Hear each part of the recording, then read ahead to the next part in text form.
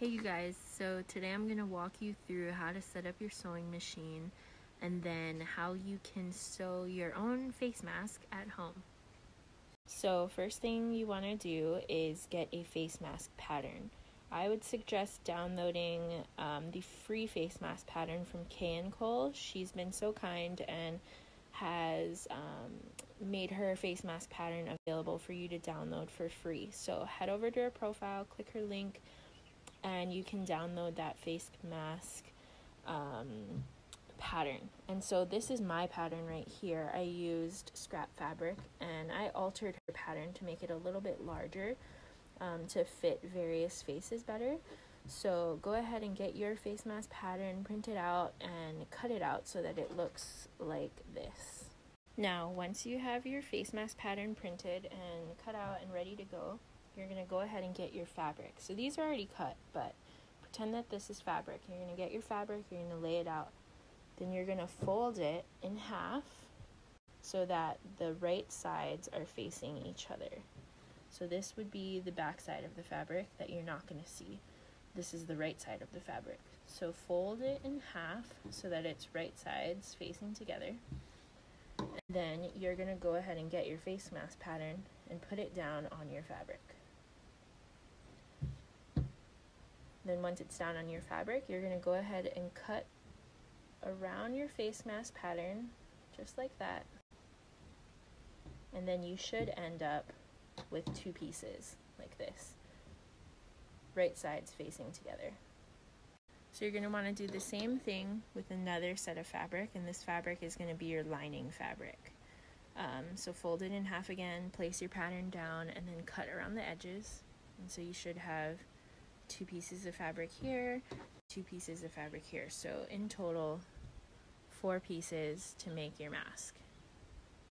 Everyone's sewing machines look different, but they're all generally the same. So if your machine doesn't necessarily look exactly like mine, it's okay. You can still follow along and get the gist of it. Um, if it's still difficult for you, I'd suggest taking a look at your manual or even just YouTubing how to thread your sewing machine. So we're going to start with threading your bobbin. You're going to take your spool of thread and you're going to go ahead and put it right up here and take this tail of thread then you're going to just loop it around this little guy like that and then pull it across this way.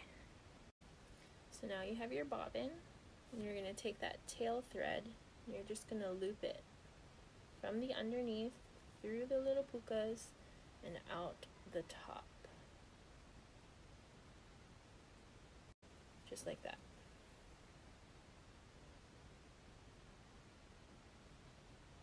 Now that you have it looped through, you're going to go ahead and pop it on right here and then move it that way into position.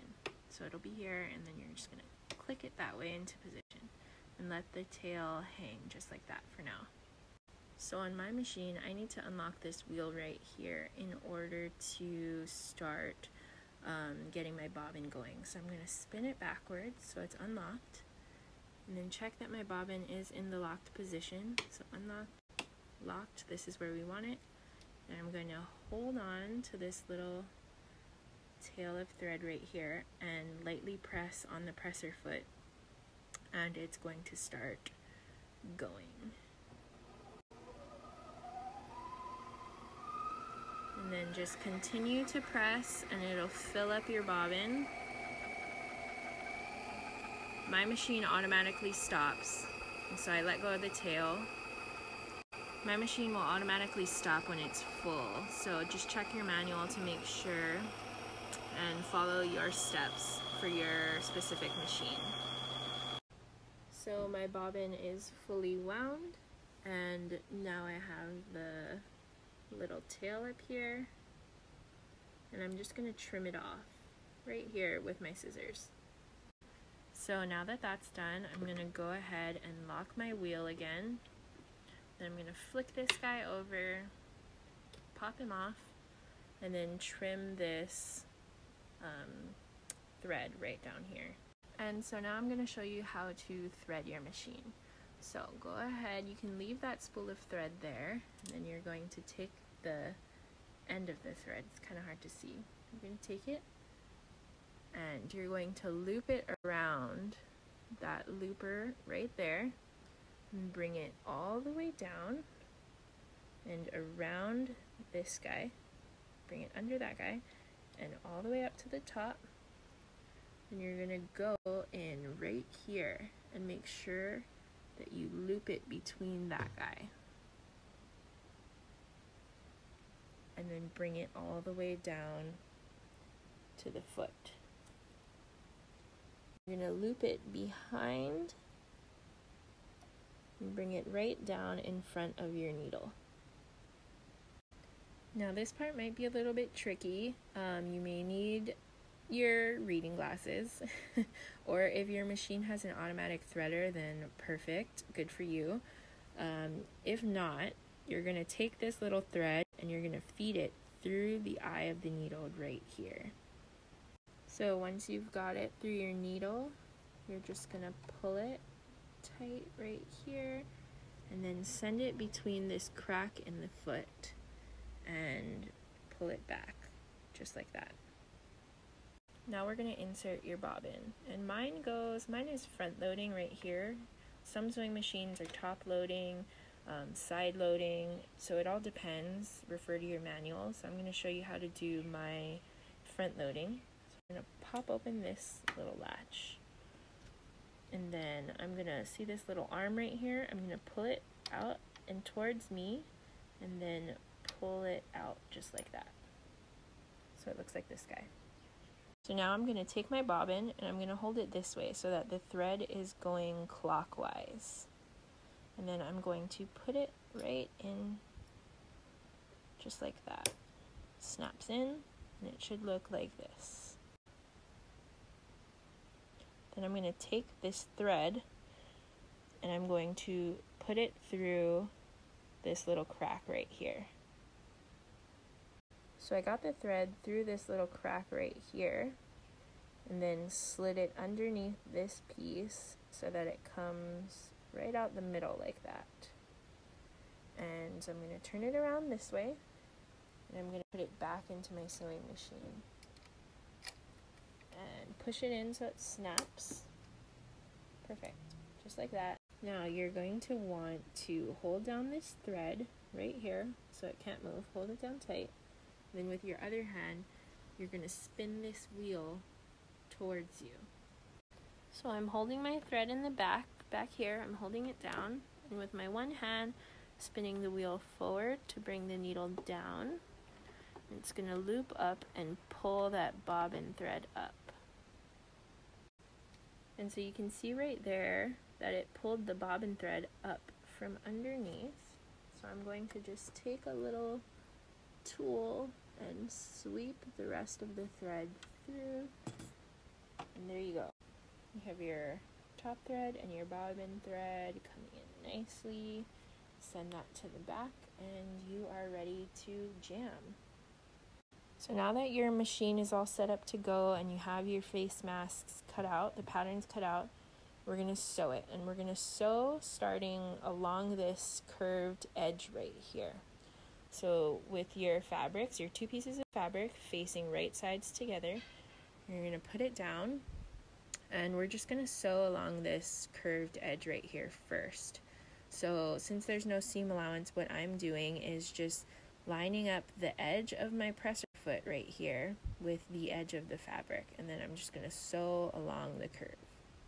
And before you start, just make sure that you're doing a straight stitch. So no zigzag, right? Zigzags on zero. And then the spacing between stitches is really up to you. I'm probably going to go down. I have been going all the way down to about um, two and a half or three. So let's just do three for this one. And then go ahead and hold your threads back here. You're going to hold it in place.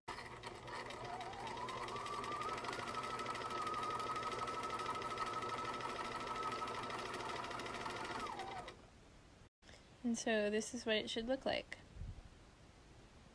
And you're just going to repeat that with your other set of fabrics. So, right sides facing together, and then just sew along the curve.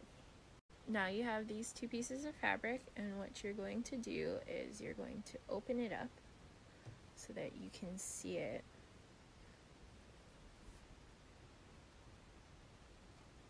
Just like that.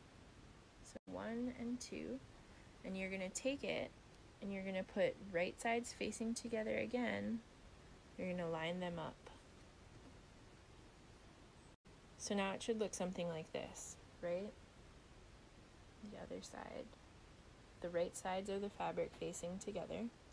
And you're going to want to make sure that on both sides, this this stitch and this stitch, the seams are aligned.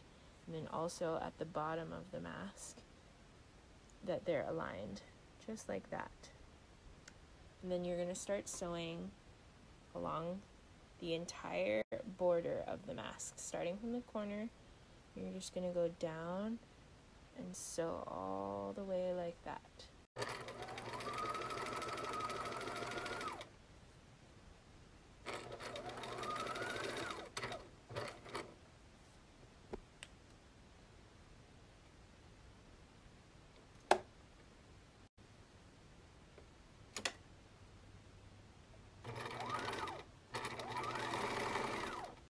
So I started at this end of the mask and I went all the way down the bottom. So when I come to this other side, you're going to want to sew maybe about a quarter of the way. Then you're going to stop and you're going to lift the needle, lift this foot, and leave a bit of a gap because that's what you're going to need. Sorry that's what you're going to need. You're going to need this gap to stay open to flip this mask inside out.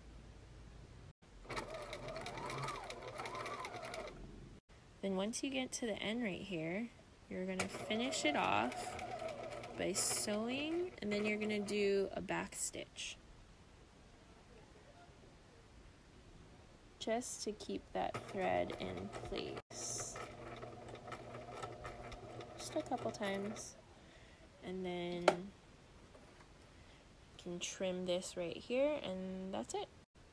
And then this is what your mask is going to look like all sewn and then you have that little puka that you left. I trimmed the thread so that there's this opening.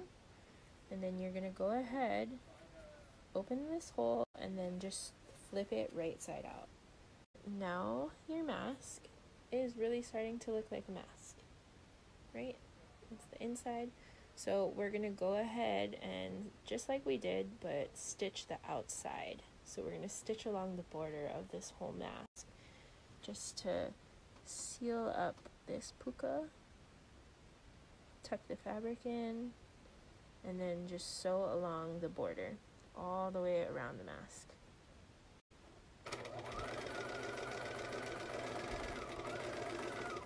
And there's your mask with the top stitch all sealed up.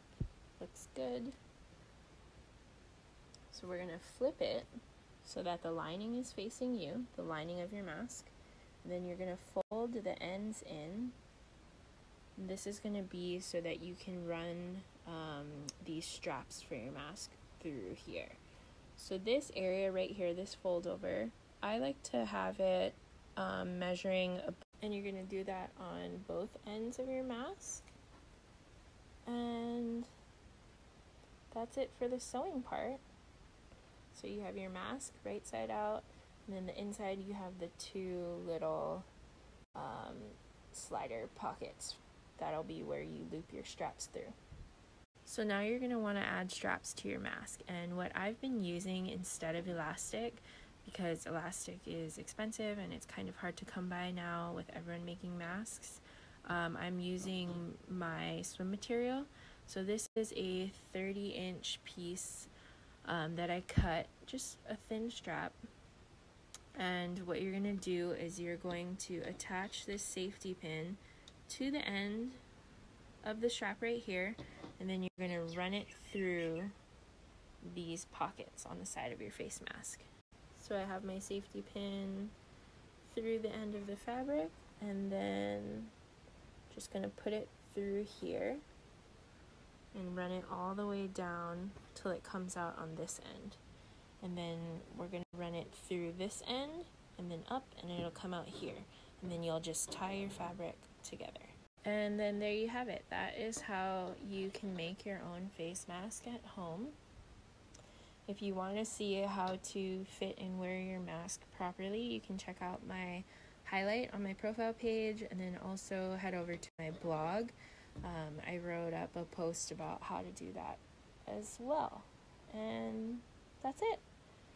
Hope you guys enjoy. I hope you guys can make pretty masks. Tag me if you do. And stay safe, stay healthy. Love you guys.